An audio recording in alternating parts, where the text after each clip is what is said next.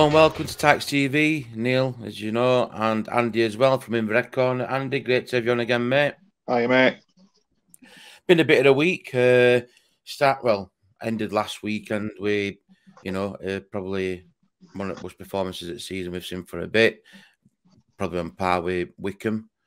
Um, and again, going into the Doncaster Rovers game where, where I saw you, Andy, as well, mate. So, yeah, what were your take on Exeter game? You know, what just a bad day at office, you know, things weren't, you know, just weren't happening, what it? It no, it. I thought it felt like a weird atmosphere anyway against mm. Exeter game. Um, I don't know if that was just me because I would I dashed straight from work to Grand. Um, but yeah, it, it it was just weird anyway. Uh, I, I, thought it was a bit more quieter than usual uh, mm. against Exeter, but they were not shut about really, whether it was it was awful. Um, definitely, well, I think uh, worst game under Duff so mm. far. That awful. Mm. Can't think of any positives to, uh, to take out in it, except we, I think we did well to keep it down to two when we were playing. Yeah, I mean, Duff went on record to say after because I I did a video day after. I thought I can't do it on daylight because you know your thoughts and proper thing, and then when you you, you look back and you take stuff into account, and like Duff, what he alluded to with what happened to Luke Thomas, some you know, some players witnessed it kind of thing, or a bad break. Yeah. But then he also didn't use that as an excuse, and refreshing for me to refreshing for me to hear and see what well, Duff came out and said we're a million of miles away from it. We want it races, no work, no pressing. So for me, that was refreshing to know that we've got a gaffer here, you know, who's going to call it as it is. Yeah. And like he said, he said he can understand why it was quiet in stands because it was, it was like quiet on pitch. So it's got to like we're hand in hand, doesn't it? Really, when you think about it. Yeah, um, yeah, it came as a shock when uh, I heard about Thomas, and mm. without a doubt, I think we missed him at team. Um, it we just like that energy, didn't we? That he fetches. Um, but yeah, good to hear Duff uh, be honest about it. Um, Maddie will tell you when it uh, phrases uh, phrases that I hate when a manager um, comes out when we played well or any team really uh, is the, the, term gelling. I, I hate that yeah. term, and I'm glad he's not used that because um, no, I, I, hate that term. Um, I, I, just think that's a, a, an easy excuse for managers. But uh, yeah, so good to uh, hear him be honest about it, and yeah, it, it will have uh, affected players. Uh, I mean, it even in a game? We're in training, mm-hmm. so yeah.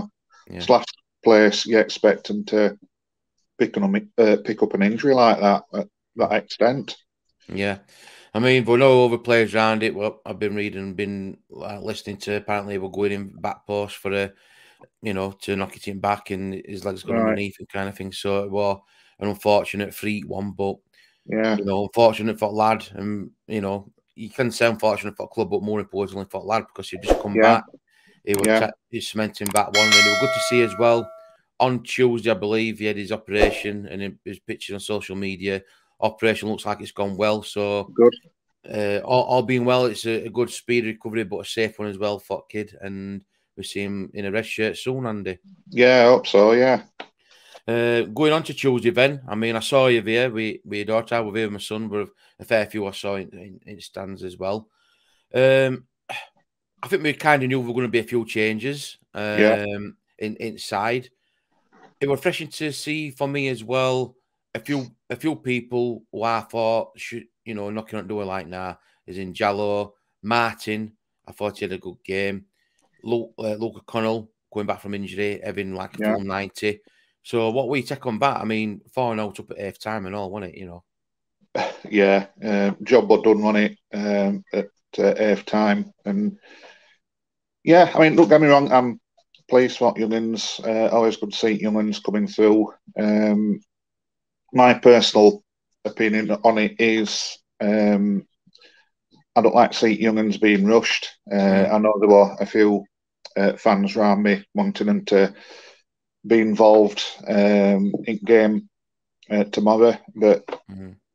not for me. We're yeah, we're going to come on to that a bit later. Like, yeah, because yeah, I, yeah, I would have been thoughts about that. It's, I, I mean, like I said in one of my um, videos on my channel the other day, I don't know if I'm on fashion like, but uh, I don't like to see him being rushed. I don't think it does him any good.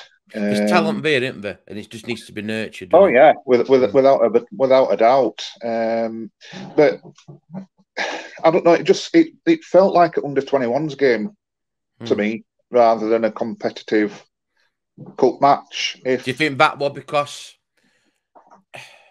I can have word it uh, respectful. Do you think it, because it, we've gone away, we made it more in an atmosphere than Doncaster did? Yeah, we're just going to say we it more, won't we?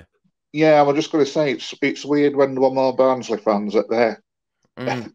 ground. Yeah. Um, but yeah, to me, it just it had that vibe about it, like under twenty ones um, fixture, really. Um, but yeah, all credit uh, where it's due. I thought we played uh, well at first day, and uh, I think, like I said, I think job were done at second day, and uh, we, we, were just playing it out really. Um, but yeah, like I said, I'm glad for Young'uns, but uh, I, I, personally hope that we, we don't uh, we don't rush them. Arsa keep them as they are, mm. steadily fetch them along.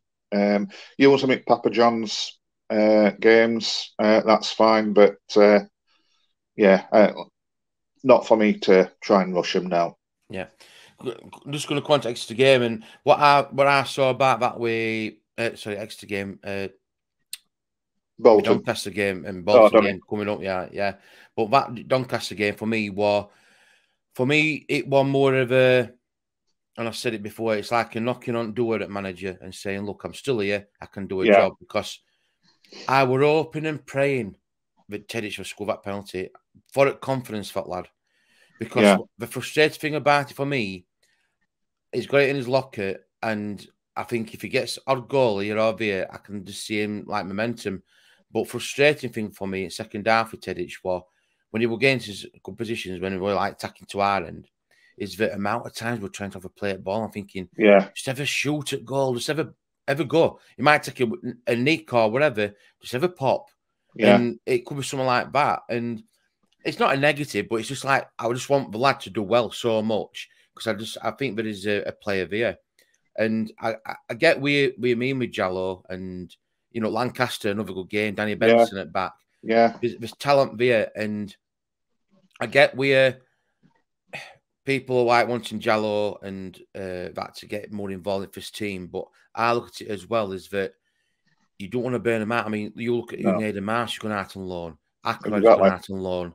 So again, there's there's progression there, and it's pleasing to see that they're improving. And whilst they're improving under Patterson and Devaney, because obviously they're involved in uh, under 23 setup with, with Duff, it's a good little uh, trio there of people what can all discuss about players. And I think sometimes as fans, we all want, oh, yeah, get straight in and local lad come good in Dyer and stuff like that. I wanted to be ripping up trees, but what I don't want for lad is to come into it ever not a, a not be in game and knock his confidence down a bit. Yeah. I wanted to come into it. You know what I mean? It's it, it's still a big leap from um, starting at Papa John's, and all due respect to Donny, they were uh, awful. Saying that, then uh, Andy, and we'll uh, we'll lead it into that. Yeah. Would you would you ever be involved in the first team squad? Say, as in the on coach to go away to get that bit of a vibe and bit of a atmosphere you know what it's about? Um, not necessarily get on bench, but if it's a take a squad of like eighteen or yeah. like that, not not necessarily get a game, but the the in and around the build up to a big game potentially, like against Bolton. I'd I'd say like if you if you have Jalo on like set subs bench, not necessarily going to get a game, but you understand what it's about from the step up. Like you said, via in Papa John's, it was like a, a pre-season kind of game, wasn't it? if there's how can I put it? Um, if there's no injuries, um, then no, I don't think they should. Uh, if there is injuries, and so like at latter end of season where we've got no to play for, which I hope we have, then yeah, um, I can't see a problem with that. But uh, I, would still keep them ticking over as they are doing at minute. The, the young, they've got they've got loads and loads of time to um, get into first team. Oh, yeah. Um, but yeah, I think rushing them. Um, I, I, don't think it's where.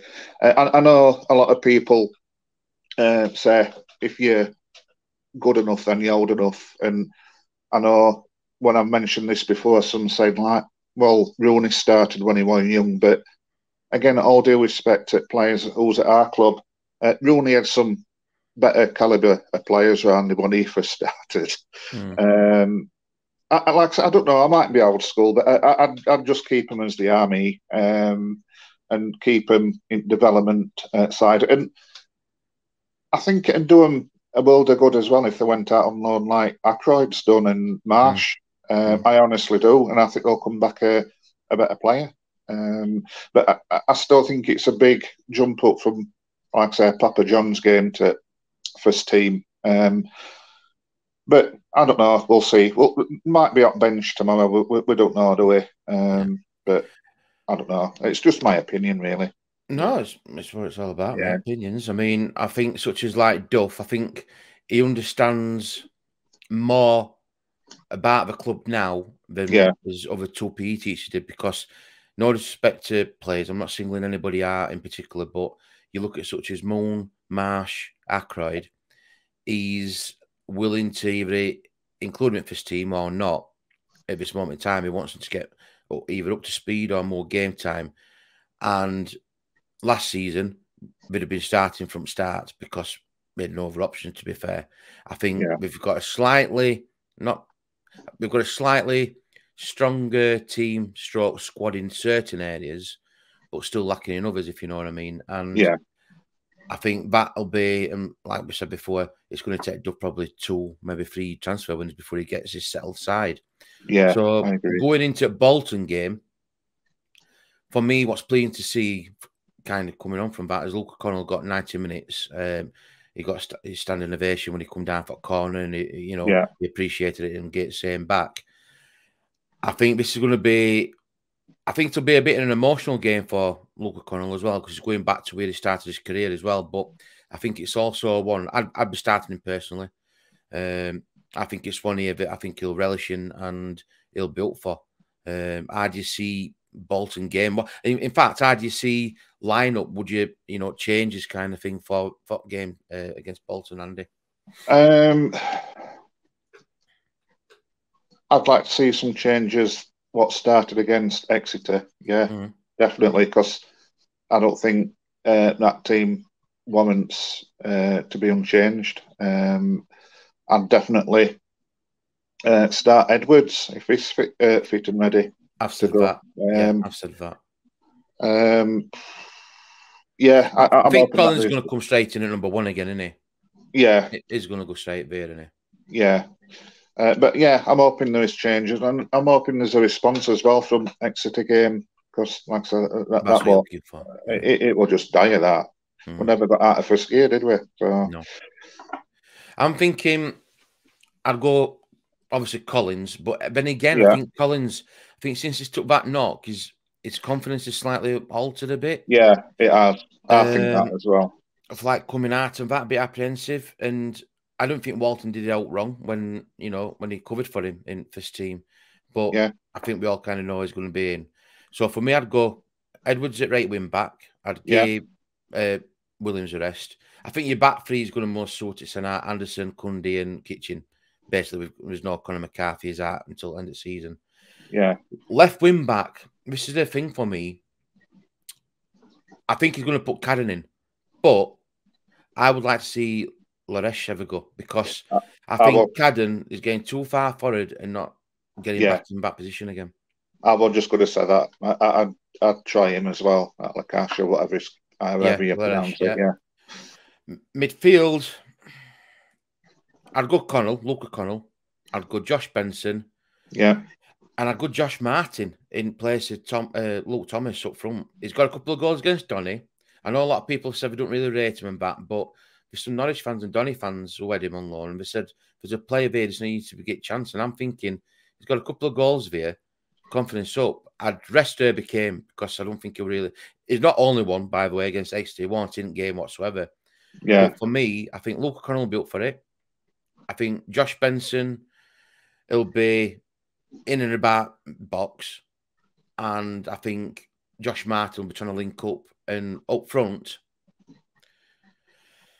Devante Cole has scored a couple of goals. I'm just hoping it, it can go for him. And I get a, a bit of thought. I'm going with Aitchison. I just mm. think with his being away, he might have a bit more pace to stretch from it back rather than Norwood. Yeah, Norwood's a different player, isn't he? He's a different mm. type of player. Um, yeah, I'd, I'd, I'd, go along with that. Yeah. Um, yeah. Bench, you could take your pick. You could have, you know, Phillips, Williams, you know, Herbie Kane, Tedic, or whatever on bench kind of thing. But I, how I'm looking at it is that it needs it needs to change. And like what you said, Andy, I think apart from result, which we're all wanted to win, we'll get on to that in a minute. I think not just us as fans, but I think Gaffer is sending looking for a response from Exeter game, not he? Yeah, yeah. Do you do you think that we'd be going via way an intent to say, look, this is what we can do, and we know we well, can do it. We know we've got it, Locker. It's just doing it, isn't it. Yeah. Um, I mean, yeah, I would hope so. I mean, um, I think they lost um, other weekend as well, didn't oh, they? Did, yeah. Uh, yeah. Bolton. So yeah. you know they'll be a bit run and downer as well. Um, yeah, I can't see any reason why we can't go there and uh, you know try and put things right. It's going to be tough though. Mm. Uh, what are they? Six, seven, thick league, something like that. Yeah. Um, when you look at point situation, it's literally noted it. It's a few points here and there, isn't it? So yeah. So yeah, it's going to be a tough test uh, without a doubt. But um, yeah, I can't see any reason why you know we, we can't go there and uh, play football, which we seem to do away at minute rather mm. than at home uh, for some reason. But uh, yeah, I can't see any reason why we can't go there and uh, game a game. Score prediction? Um, what's your head saying and what's your heart saying? my, heart always says we're going to win. Um, yeah. So my, my heart says going to win 2 0, but my head's saying 1 1. Oh, I'm not far off then. My heart's saying 2 1, Barnsley. Yeah. My head's, my head's saying 2 2. Um, right. I think basically just because uh, we we we are we're Bolton are. You know, we come. They had a bad result. We've had a bad result performance. So I think we both both camps were looking for some kind of improvement. Yeah. Um, and again, always going to want to balance a win. We always do, but it, it's going to be it's going to be a tough one. It, yeah. It's going to be a tough one. It's a decent, you know, it's a decent trip. It's a decent team we're playing against and ground and that stadium, but I'm going 2 2 Barnsley. I'm going 2 2. And you're going 1 1. So, yeah, and to be fair, it's not a bad result. That I, you know, I don't think it'd be a bad result. That no, I'd take a draw. Um, yeah, I wish I could. I wish I could go. I'd have liked to have gone tomorrow, but working till two, so you know, work commitments. But uh, yeah, I'd have liked to have gone to uh, to Bolton. Uh, one of the games I wanted to watch, but yeah, with shifts and stuff, can't mm. get there. Didn't always work. Uh, Bolton Wanderers versus Barnsley. Have you sent comments below? Um, you know, let me know your thoughts about score prediction. Let us know, you know, do you agree with team lineup? Would would be any players that you'd like to see in or out? It's always uh, about opinions and that. It'd be interesting to get people's thoughts. Andy, as always, it's been a pleasure in the red corner. Welcome. Um, good content, good debate. Uh, get you back on soon, mate. Yeah, thank you. Not a problem. One thing left to say. You Reds.